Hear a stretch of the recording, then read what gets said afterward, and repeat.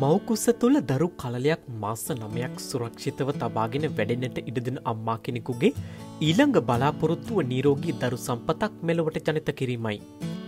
ඇතැම් මව්වරුන්ට නියුන් දරුවන් උපදිනවා. මේ කියන්න යන්නේ ඒ වගේ නියුන් දරු ප්‍රසූතියකට සූදානම් වූ මවකට දරු ප්‍රසූතියදී වූ අපූරු කතාවක් පිළිබඳව. මේ කතාව ඇසින්දුටු වෛත්‍යවරු පවා විමතියට පත්ව තිබෙනවා. ඒ තමයි පළමු දරුවා ගත් පසුව දෙවන දරුවත් මවකුසින් පිටට ගැනීමේදී මව වේදනාවෙන් කෑගසා කුස තුළ තවත් යමක් තිබෙනව පැවසීම.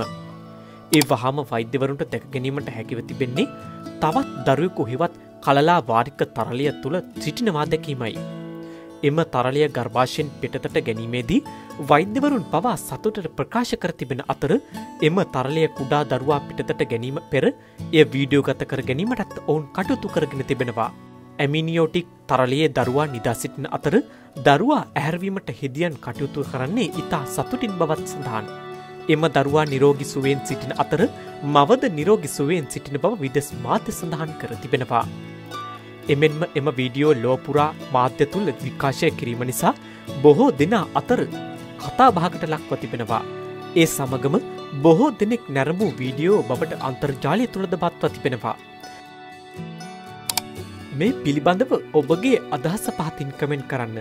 වීඩියුවෙන් ඔබ යමක් දැනගත්තා නම් වීඩියෝටත් ලයික එකක් දාන්න අමතක කරන්නට එපා.